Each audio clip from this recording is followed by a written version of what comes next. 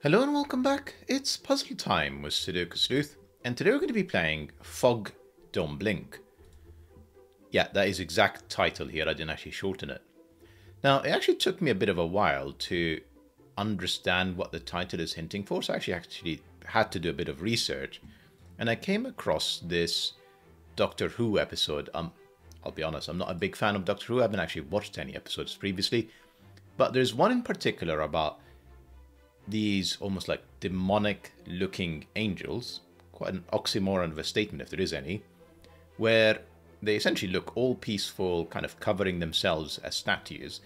And the second you look away or blink, they will essentially try and attack you. So you, the whole idea of the episode is you cannot blink. You have to make sure you keep and maintain eye contact with these angels at all times. Uh, if they do attack you, they steal like time from you, so you end up being teleported like 10 years in the future or something ridiculous like that. Ridiculous. I appreciate there are probably Doctor Who fans that are watching this channel, so pardon me.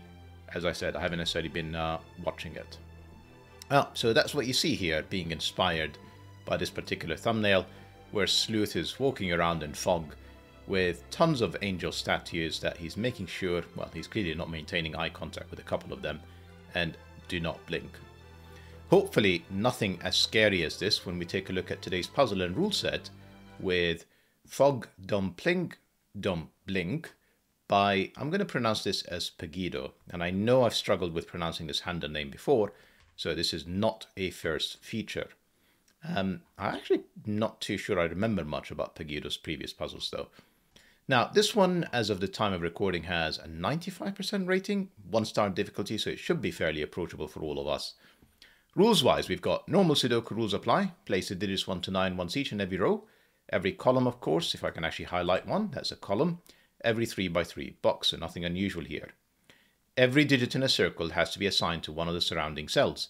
So we have cells in circles in here that says 1, 2, 3, 4, 1, 2, 3, 4. So there's clearly a bit of a pattern here where all of these cells are made up of 1, 2, 3, and 4. Two cells connected by an orange Dutch whisper line must have a difference of at least 4. I can't see any. So if I uh, draw an orange line in here, and uh, essentially cells have to be 4 or more away. If this cell is a 2, this would have to be six, seven, eight, or 9 to be 4 or more away. Just be careful, unlike German whisper lines, if I have something like a 9, I can actually put a 5 on a Dutch whisper line and then a 1. 5 with 9 and 1s, they are clearly neighbors that are 4 or more away. So you don't necessarily have the polarity flipping all the time. You can go through a middle digit, 5, and actually reverse the polarity order. Cells connected by a pink Renban line form a set of consecutive digits in any order without repeats.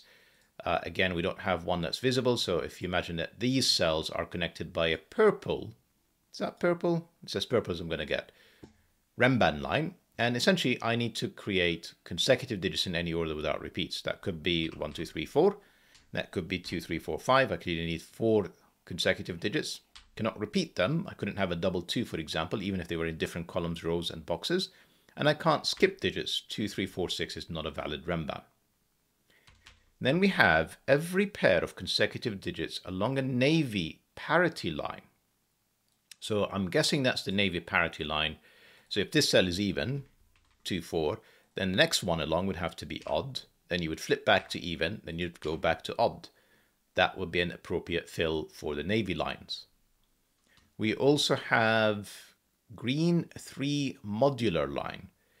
So every three consecutive cells along a green 3 modular line must contain a complete set of residual modulus 3. So i.e. 1 from 369, so modulo 0, or 147, so modulus 1, and of course 258, kind of remainder of 2. So every cell along these must be essentially kind of 1 from 369, 1 from 147, um, 1 from 258. That obviously doesn't have to be in this order, and then we're back to 369. So that would be a valid pencil mark for the three consecutive cell, the three modular line, the green one. Cells joined by an X sum up to 10. I don't see any visible. If these were an X rather than a V, you know, two cells, that could be 1 and 9. They have to add up to 10. Um, V's must sum up to 5. So these two cells have to sum up to 5. That could be 2 and 3. And white dots are consecutive. If this cell is a 2, this will be 1 or 3, so that it is consecutive. If there's a black dot, it has to be in a 2 to 1 ratio, so that would be 1 or 4. Not all x's or v's are given. A 2 with a 3 and a 4, clearly a 2 to 1 ratio, clearly consecutive. Could keep going. A 7 to add up to 10. 5, no v's, no white dots, no black dots, no x's. All of that is allowed under today's rules. So, as always, to play along, link in the description down below for you to do so. And with that said, I'm going to restart the clock and see how I get on. And I'm sure you've spotted it already. Uh, let me just repeat the modular line, uh, the three modular line, 5, 8 and 3, 6, 7, 3, 6, 9, excuse me. Now, the only way, so essentially, let's color it, purple, green, green, orange, and then back to purple. So these two cells have to be from the same modular group. They also have to add up to 5. That can only be 1 and 4.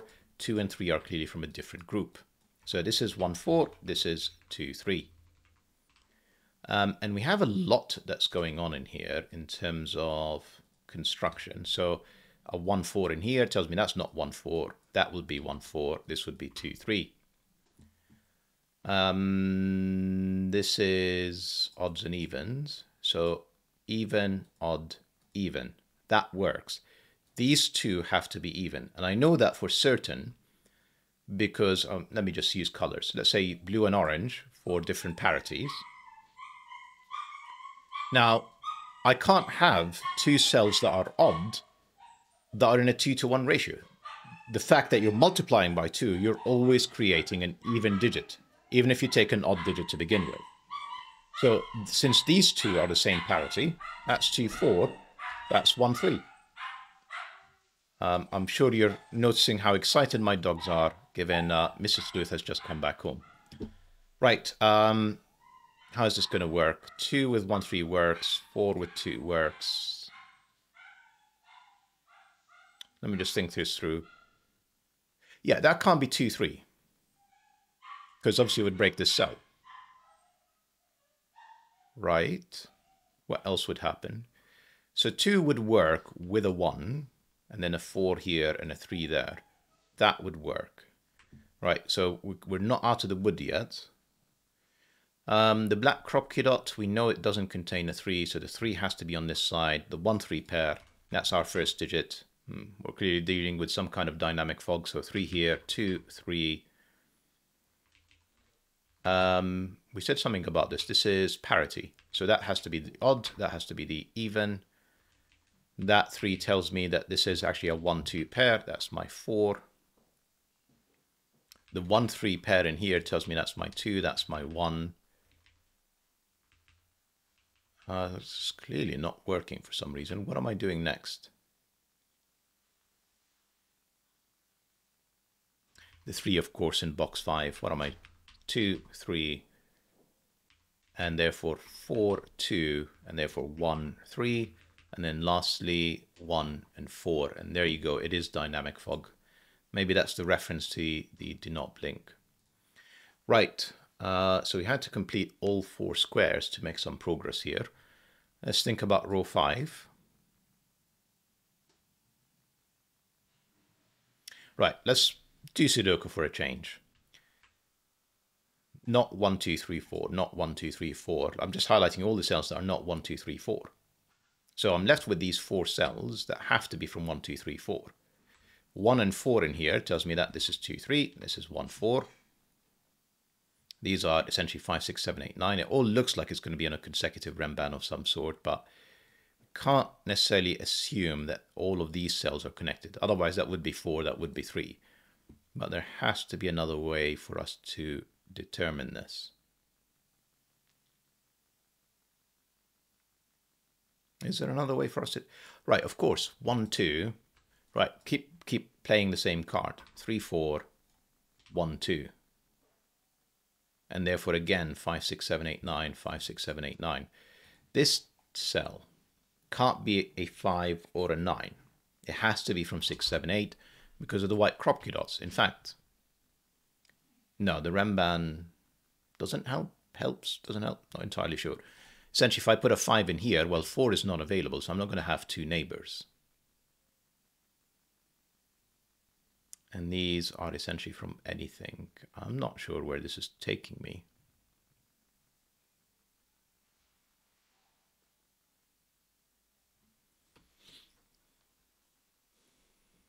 So let's think about it differently. These three cells are definitely connected to this REM 100% connected to this REM. Right, it's much easier. So much easier. Right, this cell is connected to this cell. It's on a REM It's two or three. So like it can't stop at this cell, given this is at least five, six, seven, eight, and nine. So I don't know why it took me so long to see that. This Renban has to be all connected. That's the only way this is going to work. The 4 here absolutely could work with a 5 there, but the 2, 3 doesn't. So this has to be connected all the way through until here at a minimum, meaning that it's definitely a 3, that is definitely a 2. The fact that it's not...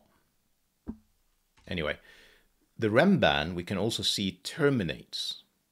So the Renban doesn't continue through the white dots, so that can't be a 1. Otherwise, how am I connecting it to all of these digits with the 2 not available? So that's 4, that's 1. There you go. 3, 4 tells me this is 6, 7. I feel like that's telling me that this is not 6. Because 6 would require 5 and 7, and then that would break. Right? That works for me. 7 also doesn't work, does it? Because 7 would require 6 and 5, and the 6 would be, would be gone. So that is definitely 8. This is now 7, 9. This is now 6, this is 4. These cells are now 5, 6 pair, and these are 7 nines. 7 nines again. The 4 in here gave me a 3, and this is now a 5. And yeah, it keeps revealing more as you solve like everything that's visible. Um, these are 8 nines to add up to 10, 8 nines again. Uh, that is definitely a 9 because 1, 2, 3, and 4 are not available. 8 would be require one of these digits, which are not available. So that would definitely be 9, 1, 5, 2, and 8. Of course, given this is a Dutch whisper line. Uh, what have I got in here? So I've got all of these tens. This is a 5-9 pair, because in essence, these are the digits that are not usable on the x's. 5 is not here. That's the 5. That's the 9. This Let me have a think. So it's the middle digit of whatever one is low or high. Let me explain what I mean by that. That couldn't possibly be a 2 because it would need a 1 and a 3 consecutive. So that doesn't work. It can be a 3 with 2 and 4 in some order. That works. But um, essentially 3 works. I'm guessing 7 works, and then it would have 6 and 8. Yes. So this would mean this is another 3, 7. It is not 3, it is 7, therefore that's 3. That's not my 2, that is my 2, that's my 4, that's my 8, that's my 6, and it reveals the next set. Four tells me this is a two, three pair. In fact, I know the order, two and three. This is still, ah, this is a one, four pair. The four is not here. That's the four, that's the one. And then the consecutive digits will hopefully help me a bit. A bit. Somehow. Uh, can we do some Sudoku quickly? One, two, three, four, five. I need six and seven, as in helped. 1, 2, 3, 4, 5, 7 and 9. This is 6 and 8. Again, hasn't helped. Eventually it will help. Yes, it has helped. Because there's no 6 in here. Yes, that's 6. Excuse me. 7, 6. And then these two cells are 1, 2, 3, 4 and 7. And then these three cells are 1, 3. I mean, the 1 has to be in here. Three, and in fact, the three has to be there as well. And this is what nine. That gives me seven. That gives me nine. Lovely. Six and eight, four and seven, seven, four and yeah, are also resolved. Obviously, because of here, that white Kropki dot wasn't useful at all. It's connected to both six and eight. And yes, it is indeed six and eight. Um, what's next? Not too sure. Actually, up here is 6 and 8 again, by the looks of things. 6 and 8. This would have to be an odd digit. So this is 5, 7, or 9 to be connected to the even digit here of 6, 8. Not much more to go on right now. I mean, so far I haven't really used these white Kropki dots, so I probably should do something about that. How are we doing for time? Have I not? Yeah, I have resolved these. Nope, five, six. And then what, seven, nine pair here. And then five, eight pair here. That seven, nine would require six or eight over here, except it is not eight, it is a six. Meaning that's six, that's seven. That has to be eight now. That is not seven, that is nine, and that is five, eight, six, nine. Fantastic. She hasn't revealed anything other than the digits I have placed. Then I am back to a 7 in here. Oh, that's the entire grid revealed now. Excellent, we're on the right track. 2 is only here. 5, 7, 7 and 5. In fact, this is now useful. So it's either 7, 6, 5, possible. 7, 8, 9, possible. Wasn't expecting that. Less useful. One, two, three. Four. I need eight and nine. That's the nine. That's the eight. I need a one. I need a five.